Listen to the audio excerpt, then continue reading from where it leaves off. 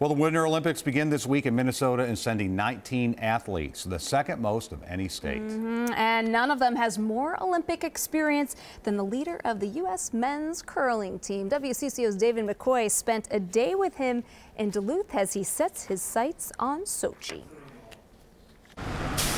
On another chilly morning in Duluth, as the clouds roll in and the city wakes up, John Shuster is hoping his eight month old son Luke is ready for some sleep. Every day, kind of, you know, late morning as it's time for his late morning nap, I toss him in the car seat and head down to the club and hope he has a long nap.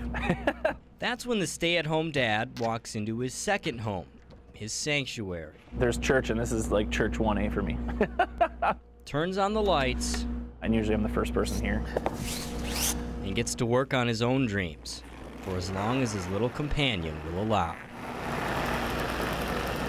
some days I get, you know, 15 rocks in, and some days, you know, he nap, naps long enough for me to throw, you know, 50 or 75. So throw a couple rocks and look, see if he's still sleeping.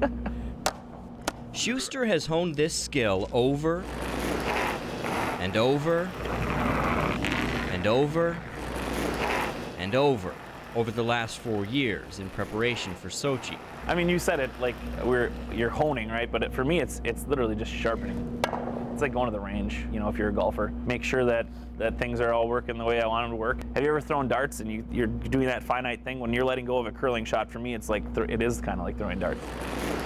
This will be Shuster's third Olympics. After a bronze in 2006 as a front end guy, Shuster realized his lifelong goal in 2010 leading his own team. Followed off by a really awful ending. He struggled, was benched, and took last place couldn't have gone worse. You know, after it all went bad, kind of had a moment where you got to sit back and and decide whether it's something I want to keep doing because it was so bad. Like, I mean, it blew up so big.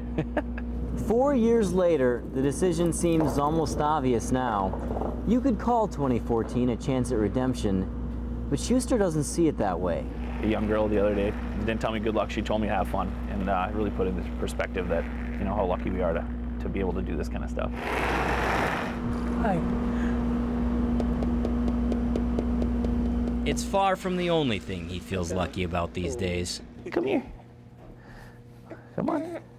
Amazing how your perspective on something as big as the Olympics. Oh, there you are. Hello. Hi. Hi. Did you have a good nap? Can be changed by something so small. It's not life and death to know when you're curling. Curling gets done, I get to come home to this guy. Did you have a good nap, buddy? Mwah. Oh, Shuster grew up in Chisholm. He didn't start curling until he was 15. His first big win was the 1999 state high school championship only two years later.